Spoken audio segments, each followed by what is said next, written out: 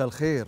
المحبة هي البذرة الأساسية والإنسانية بين الناس. هي اللي معروفها وأثرها يدوم طول العمر. الكره والحقد والغيرة وكل المشاعر السلبية تضر صاحبها قبل لا تضر أو تأثر على الغير. وعشان كذي نلقى المحبة والمودة والرحمة قيم أساسية في ديننا الإسلامي وهي قيمة أساسية في العلوم الاجتماعية أيضا والإنسانية لأن الإنسان جبلت نفسه على فعل الخير والإحسان. فلما تقدم خير أو ود لا تنتظر أجر لأن الأجر عند الله وبالتأكيد مردود الخير اللي زرعته بيرجع لك في الدنيا وفي الآخرة أضعاف مضاعفة. لذلك خل المحبة أساس.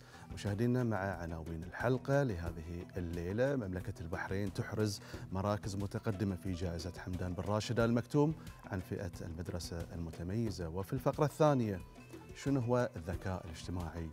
حياكم الله في الرأي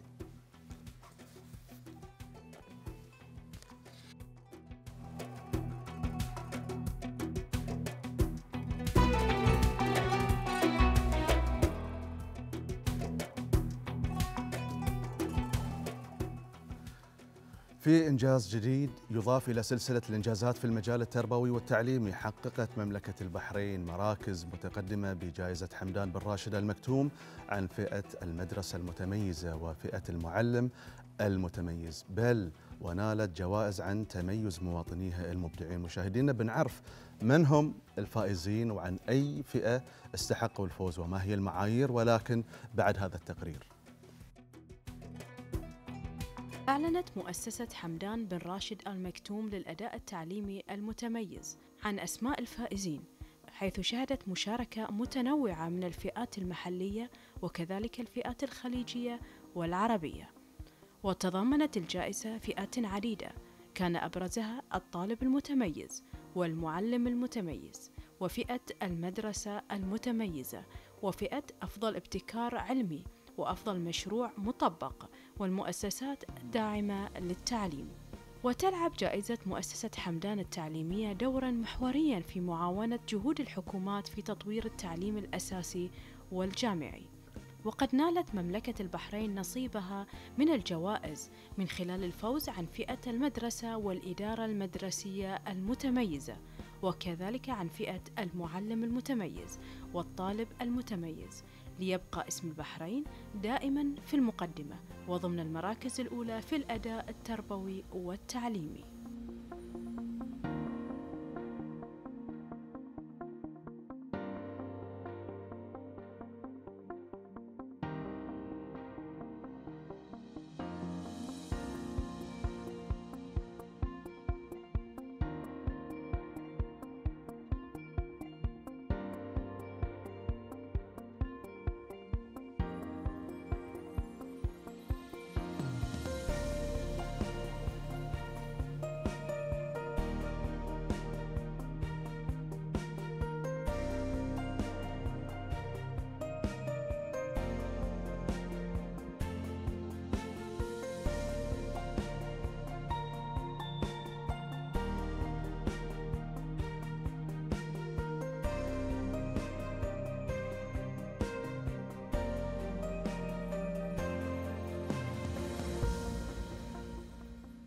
طبعا هالفوز يعني للكثير.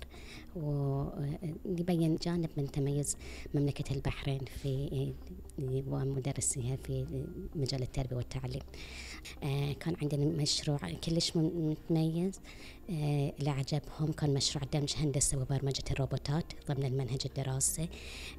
واللي أشكر وزارة التربية والتعليم اللي اللي وفروا لنا الروبوت وإحنا قاعدين يعني بصوره بصورة مستمرة قاعدين نستخدمها في برنامج البرامج الاثرائيه للطلبه الموهوبين الروبوتكس جزء من المنهج.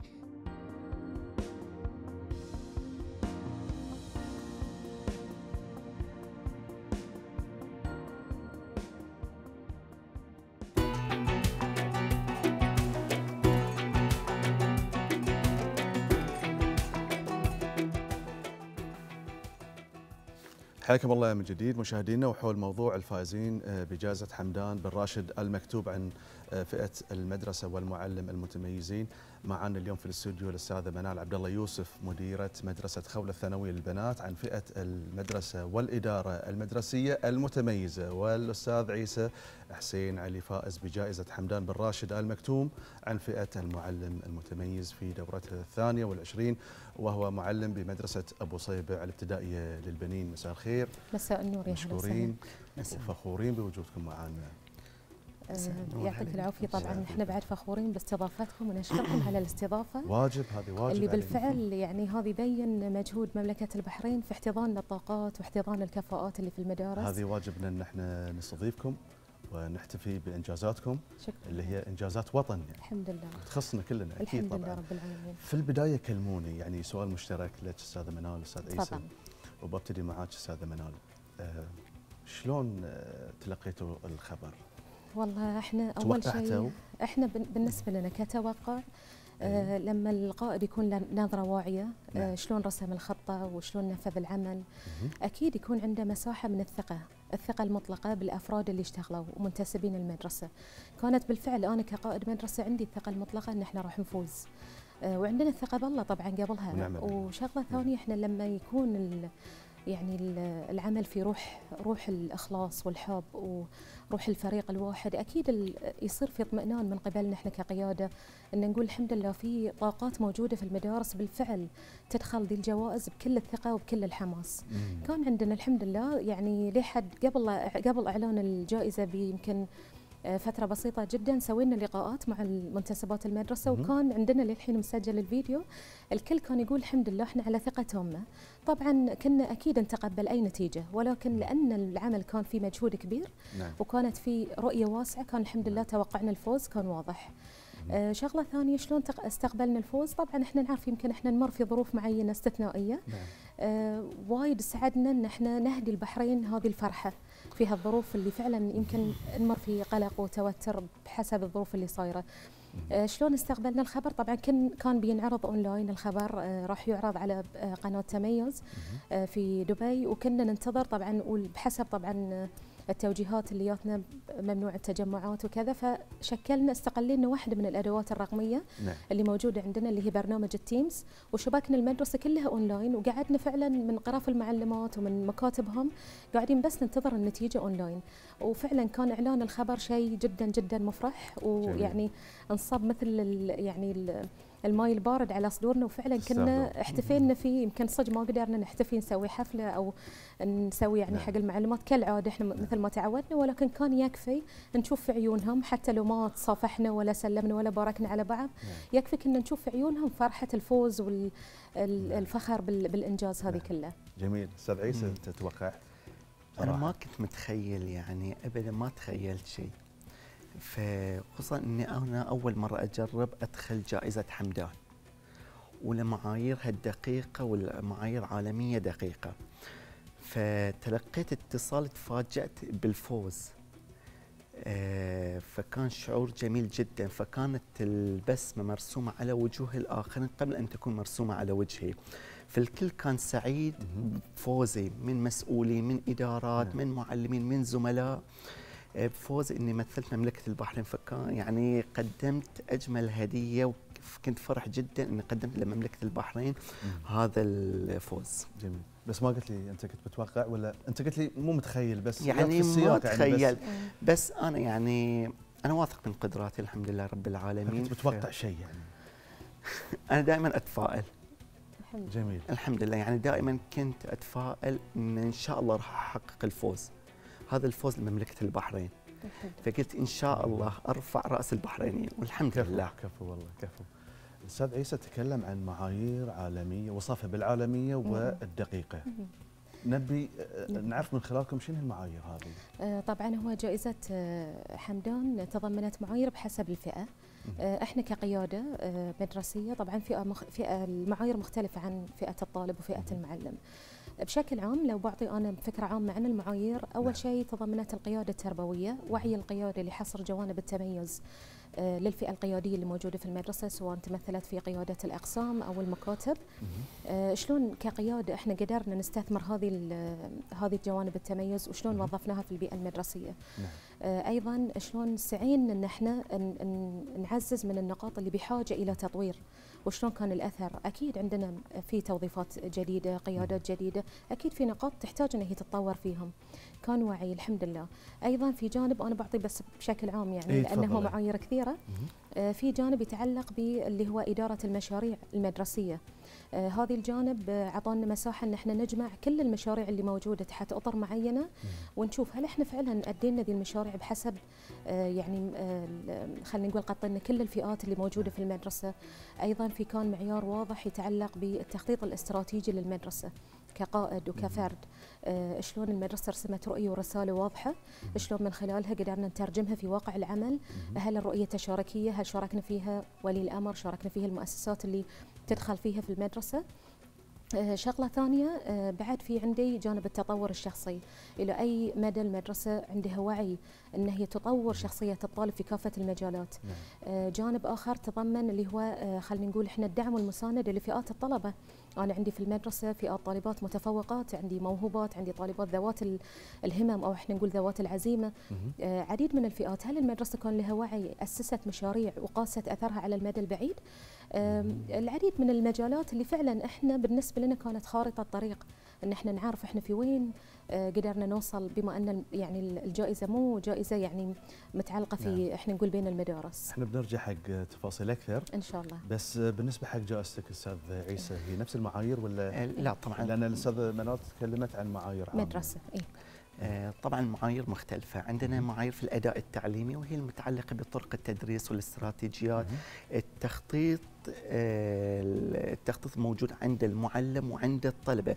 انت كيف راح تخطط للتلاميذ إنه يوصلون إلى مراحل مهم. فهذا في المجال التعليمي. عندنا المجال الدافعي. أنت كيف راح ترفع دافعية تلاميذك يوصلون من يكونوا من محطة إلى محطة آه، أفضل؟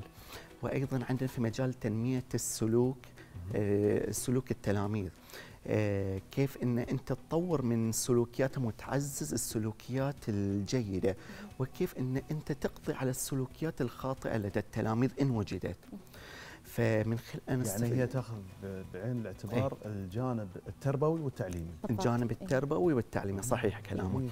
فنتيجة لجهودي مع تلاميذي في السنوات السابقة ونتيجة الخبرات المتراكمة فتمكنت أني أغطي هذه المعايير آه، بفاعلية كبيرة.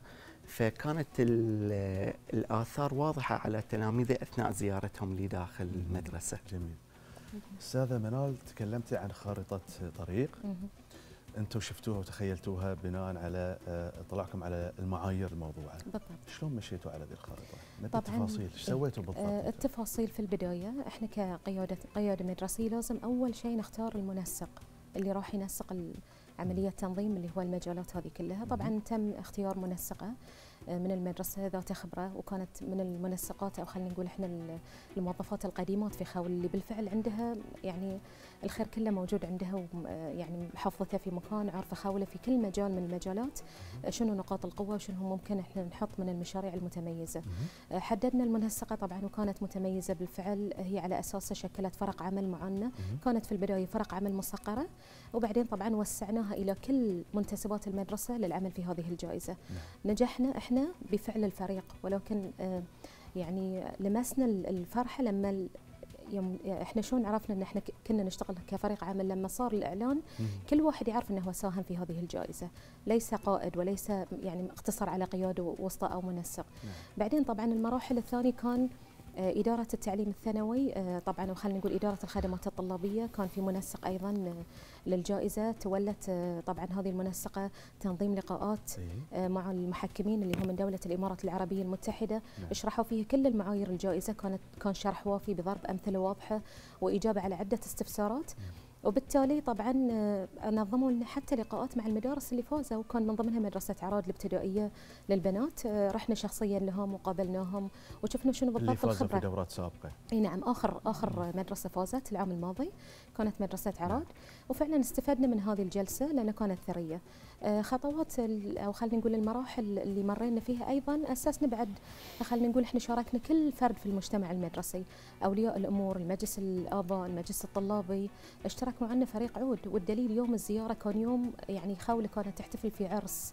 عرس تربوي لأن كل من كان يوقف ويتكلم آه، عن المدرسة ويدافع عنها بشكل كبير من ولي أمر من من طلبة من من معلمين بدون ما حد يفرض. عليهم ذي الشيء لأن في الحمد لله خير موجود في خولة وما زال. ويمكن هذه اسسوه حتى المديرات السابقات الولاء والانتماء للمدرسة. جميل الأثر الآن كلمنا عن الأثر شو بينعكس على أدائك بعد حصولك على هذه الجائزة طبعا حصولي على هذه الجائزة هي مسؤولية كبيرة نعم ملقاة علي.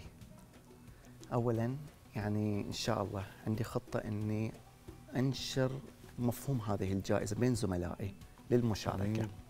هذه الخطوة الأولى. أني أطور من ممارساتي الجيدة وأنشرها بين زملائي.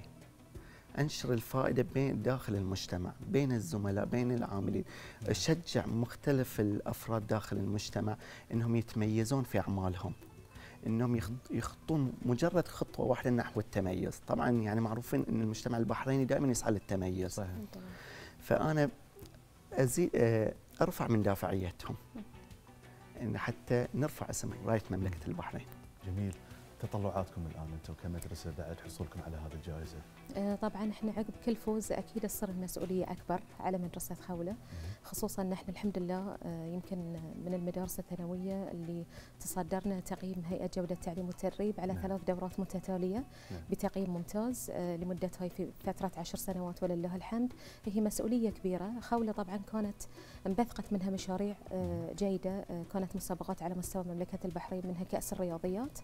إن شاء الله راح نستأنف آه، ال- خلال السنة القادمة. طبعا جوائز خولة راح تقيم مسابقات على مستوى مملكة البحرين. ممتاز. آه، إحنا ممتاز. وضعنا الخطة وإن شاء الله بس نبتدي العام الدراسي الجديد وإن شاء الله راح آه، تكون هذه الجوائز في متناول الجميع. الله يوفقكم إن شاء الله. ومنها للأعلى. إن شاء إن شاء الله تكون هذه الجائزة دافع لتحقيق المزيد وأنتم إن قدها إن شاء الله. الله. ما إن قصرتوا الله. وكفيتوا إن شاء الله. وفيت استاذه منال واستاذ عيسى من أجل البحرين مشاهدينا يتميز أبنائها. وبناتها يحصدون ثمار جهودهم. ابني لهم جائزة حمدان بن راشد آل مكتوم للأداء التعليمي المتميز ولم يكن هذا الإنجاز الأول لهم بل حصلوا آه، على الكثير من المراكز المتقدمة والجوائز. هنيئا للبحرين هذه الإنجازات المشرفة اللي يحق لنا أن آه، نفخر بها ونقتدي بأصحابها ونرفع فيهم الرأس عاليا مشاهدين ننتقل إلى الفقرة الثانية. في غالب مناسباتنا الاجتماعية اللي اللي يتم فيها تبادل الحوار والنقاش نشوف دائما يدخل شخص وياخذ آه، موقف في الحديث ويصير محط الأنظار. آه، عنده قدرة لافتة في إدارة الحديث بأسلوب ممتع ومقنع وتلاقي الكل ينجذب لكلامه. هذه المهارة تسمى الذكاء الاجتماعي. آه، هذه الذكاء هو موضوع فقرتنا اللي ودنا نوضحه أكثر ونشرح ابعاده لكن خلونا نشوف هذا التقرير وراجعين.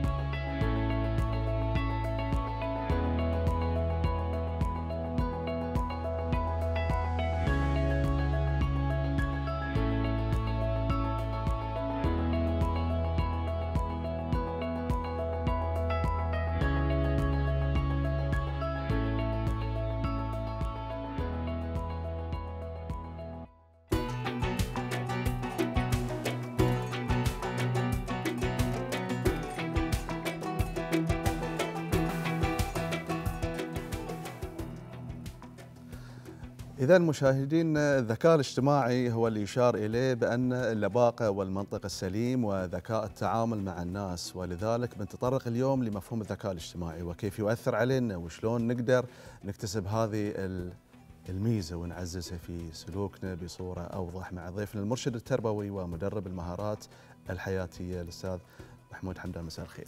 مساء الخير الله. يعطيك العافية إن شاء الله. أستاذ محمود طلب مني أنه يتشارك معي في الأسئلة. يبي يوجه لي أسئلة. وأنا نعم. قبلت. حلو. أحسن. ومتفاعل معاك إن شاء الله. حلو. أنا تكلمت بشكل عام. بس نبي نعرف بشكل أدق. شنو هو الذكاء الاجتماعي؟ أو أبرز ملامحه؟ آه، اولا شكرا على الاستضافة أستاذ العزيز. وشكرا لاختياركم هذا الموضوع اللي مهم مثل ما قلنا إلى الصغير وإلى الكبير وحتى من ناحية تربوية. نعم. الذكاء الاجتماعي هو القدرة على فهم الآخرين والتواصل معهم بإيجابية حسن التعامل مع الآخرين. آه، تلاحظ أن هذا المفهوم بسيط في عباراته صحيح؟ صحيح. لكن لو قلنا كيف فهم الآخرين أصلا بندخل في العمق؟ ممكن هذا يجي من خلال الأسئلة والحوار. متى نبتدي نعتني ب بهذه الميزة؟ مم. أو هذه الومضة أو اللي هو الذكاء الاجتماعي من أي مرحلة سنية؟ تمام. بمجرد أن ينمو الطفل في بداية حياته بأساليب تربوية معينة هو ينمو ويكبر بكرامته فتكون عنده ثقة بنفسه تكون عنده شجاعة تكون عنده انطلاقة يصير عنده خيارين بم- بمجرد أن يبدأ مرحلة العناد بالسنة يعني هذه الصفات اللي ذكرتها هي مكتسبة من بيئة ال... يولد الإنسان بكرامته, بكرامته، يولد. ب- بثقته بنفسه الأساليب بالفطرة التربويه يعني. بالفطرة. الأساليب التربوية هي اللي تعطيه الخيارات الأخرى اللي تقلل من الذكاء الاجتماعي اللي يكون عنده. يعني الذكاء الاجتماعي لو خلي الإنسان ونفسه بمجرد تواجده الاجتماعي ممكن يطورها لكن هي موجودة في نفسه. مثلا اللي يحصل إليه أب وأم آه، يكونون متسلطين مثلا فهو يصير عنده خيارين. الطفل ذكي كان عنيد آه، يبغي يبرز نفسه يبغي يبرز ذاته. هذا من الذكاء الاجتماعي ثقة بالنفس إبراز النفس. ثم الوالدين يسيطرون عليه هو يصير عنده خيارين. يقول إما أكون شخص مستسلم وخلاص دام اللقمة بتجيني أكون شخص مستسلم. أو أن أصير شخص متمرد وأبرز شخصيتي بشكل أكبر. فالوالدين إليهم الدور الأول على نحو إكساب وتطوير المهارات الاجتماعية والذكاء الاجتماعي. عند الطفل. ممكن يكتسبها من البيئة لاحقا لكن المدرسة الأولى هي مدرسة الوالدين. بس بس ذي الموضوع حساس يعني. أنت موضوع التمرد أو الجزئية المتعلقة بالتمرد. يعني التمرد لا شق سلبي ولا شق إيجابي. تتفق معي ولا تختلف؟ صحيح. لذلك شو نقدر؟ وجود. قوة الشخصية عند الطفل العناد هو شيء إيجابي من لوازم الطفولة اللي يتضايقون منه الوالدين. العناد هو من لوازم الطفولة يبدأ تقريبا من سنة وثمانية شهور يبدأ عنده إلى ست سنوات. فهم الوالدين إلى هذه المرحلة يخليهم يتعاطون معاه بإيجابية. كيف إحنا ننمي شخصيته بقوة الشخصية دون أن نكسرها وينمو مع الذكاء الاجتماعي دون أن نصر عليه أنه يكون شخص بسيط وساذج. مم. هذا مفهوم مهم يعني خيط يعني دقيق. اللي أنا فهمته وتصحح لي بس. آه يولد الإنسان بفطرته. نعم. الفطره المتمثله في الكرامة آه، في العناد في الذكاء في في نعم. وعلى الوالدين انهم يتفهمون طبيعة هذه المرحلة مرحلة الطفولة. لأن إذا هم قد- قدروا انهم يستوعبون ذي المرحلة أنا صحيح. أعتقد انهم بيقدرون يوظفون ذي الصفات ومن ضمنها العناد في إطارها الإيجابي. صحيح. إحنا اللي يصير عندنا إن الواحد ممكن ينجب إليه الأولاد دون أن يطلع على شيء من علم نفس النمو، ما نقول إن الإنسان يكون متخصص، لكن الاطلاع البسيط بيعرف إن من طبيعة الطفل إنه يكون عنيد. آه، يبدأ كل الأطفال يبدأ بإبراز شخصيته مثلا لو جاء لك شخص وقال لك أنا ولدي حركي، أول سؤال ممكن تسأله شنو؟ ولد حر يكسر آه ممكن تساله عن بعض السلوكيات صح؟ اي أنا اساله أقول له عمره كم؟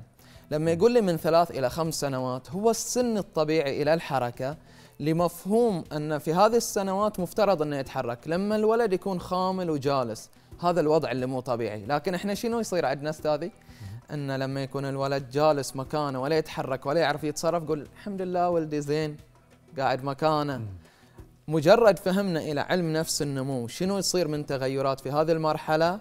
أنا أرتاح أعرف ولدي سلوكه سوي أو نعم. سلوكه شاذ. نعم. ومن ضمنها إكسابة إلى الذكاء الاجتماعي. تطوير المهارات الاجتماعية اللي إحنا قاعدين نتكلم عنها. سألتني يبدأ من كم؟ يبدأ بمجرد إنه يستطيع الطفل اكتساب هذه المهارات وتقريبا يبدأ من يعني السنتين. بمجرد ان هي تبان عليه نشوفها يشوفونها الولد صحيح. صحيح؟ هي المهارات الاجتماعية مو شيء واحد فهي مهارات. فيعتقد الوالدين شنو أبرز هذه المهارات؟ مثلا آه، القدرة على التحدث مع الآخرين. رغم بساطة هذه لكن تلاحظ أن في شخص بمجرد أن تلتقيه ممكن يكسبك ممكن يجذبك إليه وفي شخص لا تلتقيه مرة وتنساه صحيح؟ صحيح. ينقسمون الناس. هذه مهارة بسيطة. كيف يستطيعون أنهم يطورونها؟ من, من المهارات الاجتماعية مثل ما أشرت اللباقة آه، السنع الأخلاق الحسنة آه، قدرة التأثير على الآخرين البشاشة. في أشخاص بمجرد اللقاء, اللقاء الأول هو اللقاء المستمر. وفي أشخاص من اللقاء الأول تصير الفجوة. هذا فرق ال- الشخص اللي عنده. ذكاء اجتماعي. وشخص أرواح, تتلاقى وأرواح تتنافر. صحيح لكن هم ال- بعد الذكاء اللي موجود عند الشخص يخلينا ننجذب إليه. أنت تلاقيني أكون مبتسم وبشوش نعم. فتحب تلتقي فيني مرة ثانية. الكلام اللي أنا أتكلم معاك فيه تشوف مم. قدرت أجذبك أو لا. ديل كارنيجي في كتابه كيف تكسب الأصدقاء وتؤثر في الناس يقول شوف هذه القاعدة الجميلة. يقول أنا أحب الكر- الكرز والكريمة. لكني لما أروح إلى اصطياد السمك آخذ معي شنو؟ الديدان. أنا ما أحب الديدان لكن السمك يحبها. شوف القاعدة. هني ينطبق عليه المثل الغاية تبرر الوسيلة. شوف هو شنو قاعد يقول؟ أنا ممكن أجلس معاك أنا شلون اكسب أتكلم معاك في الشيء اللي أنت تحبه؟ كم شخص يجلس مع الطرف الآخر ويكون منصت إليه أكثر من إنه يتكلم؟ إحنا نعتقد إذا تكلمنا مع الآخر أكثر بينجذب إلينا بينما الإنصات والاهتمام مهارة اجتماعية. مم. فهذه مهارات اجتماعية. كم شخص فينا يستخدم اللي نسميها إحنا ال- ال- العبارات الساحرة أو مثل ال magic word اللي هي لو سمحت إذا ممكن هل تقدر؟ مم. أو لا نستخدم لغة الأوامر اللي ما أحد أصلا يستقبلها ولا يتقبلها. نعم. شوف. زين خلينا نفرق إحنا آه، في ذا السياق بين الذكاء الإنساني والذكاء الاجتماعي. هاي موضوع حساس عاد. آه،؟ نتكلم فيه. إحنا لا إن شاء الله طيب هو لأنه موضوع اجتماعي حساس فأنا أطرحه ببساطة right. الناس لما تقول إليهم أنه شخص ذكي شنو يتبادر إلى الذهن أنه في المدرسة شاطر شاطر متفوق صح؟ صح هذا الذكاء بالنسبة إلى الناس في شيء يسمونه ال IQ آه اللي هو intelligence quotient الذكاء التحليلي هذا الذكاء اللي الناس يعتبرون أن الشخص اللي معدله فوق التسعين المعدل اللي يكون متميز في الدراسة فيسمونه ذكي. ال SQ هو ال social quotient اللي هو الذكاء الاجتماعي. وفي عندنا ال EQ emotional intelligence اللي هو ال- الذكاء العاطفي. العاطفي. حلو؟ الناس ما ما عندهم إدراك إلى الآن أو قناعة بأن النجاح في الحياة 80% يا أستاذي يتكون من الذكاء العاطفي والذكاء الاجتماعي و20% على ال IQ وهو الذكاء. التحليلي. حتى ال- الحث والتحفيز يكون من قبل الوالدين في شنو؟ في التربية على الذكاء الأكاديمي والمعدل الأكاديمي. بينما ممكن ينمو عندنا الشخص ويكبر وهو في المهارات الاجتماعية. خلينا نبسط الأمور أكثر. يعني الحين إحنا تكلمنا عن ثلاثة أنواع من الذكاء. الذكاء الإنساني. أوكي. قلت الذكاء التحليلي والاجتماعي والعاطفه والعاطفي هاي أربعة. حلو. هو الإنساني زين. أنت قلت إن الذكاء الإنساني المفهوم العام عند آه، الأغلب من الناس مرتبط بالتحصيل العلمي. نعم. إذا كانت علامته يعني عالية مرتفعة فهو ذكي. مم. إذا أقل نعم. فهو مو ذكي. وهذه أنا يعني أختلف مع جمله وتفصيلا لأنه مو مو مؤشر يعني مو مقياس. صحيح؟ صحيح. زين. اذا شنو الذكاء الإنساني؟ آه هوارد جاردنر في سنة 1983 آه طلع بنظرية الذكاءات المتعددة. نظرية الذكاءات المتعددة أحدثت ثورة في مفهوم الذكاء ال ال الإنساني اللي تسمح لي؟ تفضل بعيدا عن النظريات بالنسبة لك شنو هو الذكاء الإنساني؟ في شنو يتمثل؟ عشان نقدر نفرق بين الذكاء الإنساني والذكاء نعم. التحليلي والعاطفي والإجتماعي لأن الحين صار صاروا عندنا أربع أنواع أه. بالنسبة لك أنت. آه، مفهوم الذكاء الإنساني لأن الإنسان بحد ذاته ينقسم إلى عدة أنواع من الذكاءات لذلك طرحت لك هذه النظرية اللي قسمت الإنسان بحد ذاته إنه هو مو مكون واحد من النظريات لأن مو الكل الذكاءات يتفق عليها أستاذي. لأنه يقولون قدرات. اي إيه بس بالنسبة لك أنت من واقع تجربتك خبرتك العملية تعاملك أنت نبي نبي وجهة نظرك أنت. آه، قدرة الإنسان على الإقناع والتأثير وأخذ المكانة الاجتماعية والتأثير في اللي حواليه. هذا هو الذكاء اللي أنا أعتقد أن الإنسان من خلاله يكون ناجح كثير من الأشخاص إذا تكلمت عن واقع وتجربة كثير من الأشخاص اللي كانت معدلاتهم عالية جدا لما انفتحوا على الواقع المهني وما بعد الجامعة اللي يقولون انفتحت عندنا الحياة الآن بينت عندنا الحياة مهم. مصيرهم كان الفشل والتراجع وعرفوا إن في سنوات حياتهم لما اعتمدوا على الذكاء التحليلي والمعدل كان خيار غير صحيح. زين نرجع لموضوعنا الذكاء الاجتماعي. نقدر نختزله في مصطلحنا الشعبي الجميل السنع؟ السنع السنع. والضيافه عليه ممكن نضيف عليه بعض المهارات. يعني بالدرجة الأولى على كيف تتعامل مع الآخر. صحيح. وتخلق من نفسك عنصر جذب. صحيح. وبالتالي تأثر تحدث تأثير القدرة على صح؟ صحيح.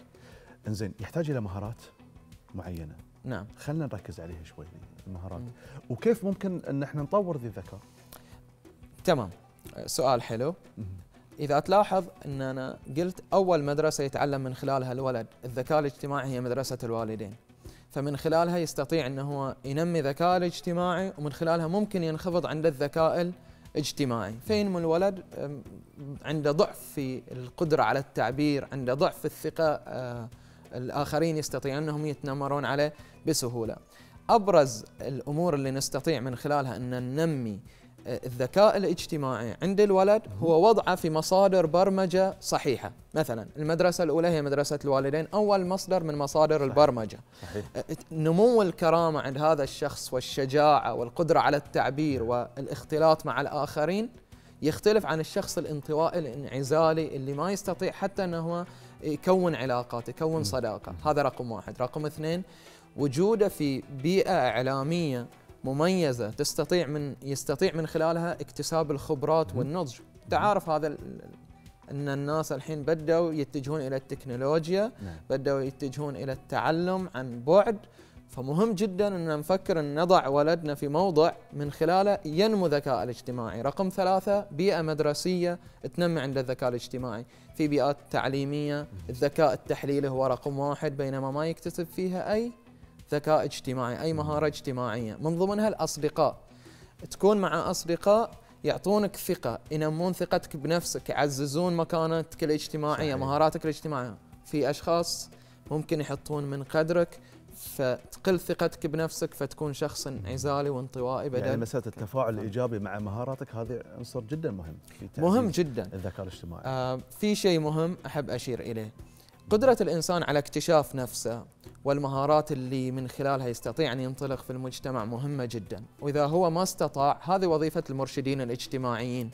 ممكن إحنا كبرنا بعدها واحد أشار إلى أن أنت ما شاء الله عليك متحدث مميز. استثمر هذه الموهبة. هاي ذكاء اجتماعي. شوف هذه الجزئية هذه الجزئية اللي ذكرتها مهمة.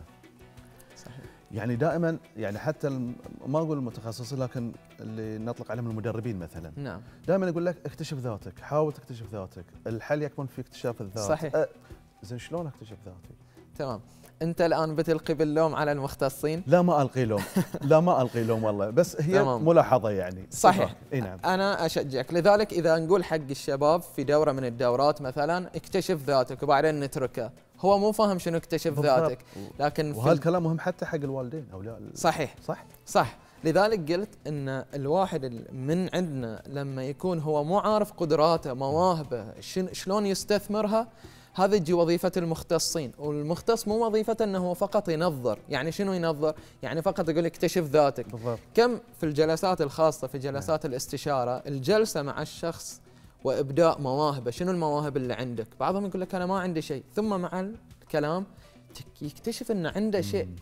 قدرتك على طرح الأسئلة أنت كمختص مرشد اجتماعي الوالدين نفسهم. يكبر الولد وما عنده مهارة اجتماعية مو مكتشفين فيه شيء. لأنه ما ساعدوا على اكتشاف ما ساعدوا على اكتشاف مهم إنهم يلجون حق متخصصين أيضا. مهم وهم نفسهم مفترض تكون عندهم هذه المهارة. ليش الولد مع احترامي الشديد؟ ليش الولد لما يكبر يكبر نلومه على ال- ال PlayStation أو الألعاب الإلكترونية بينما إحنا ما وضعناه في موضع من خلاله يستطيع ان يكتشف نفسه.